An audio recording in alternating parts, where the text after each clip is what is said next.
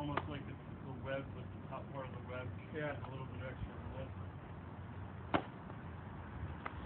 Hard to break in it, like. Well, I don't have, like you know, I mean, this is, Design drives at it, you know. yeah, I have that knit masher, and I play with it a little bit, but it'll probably be broken in by the time I die.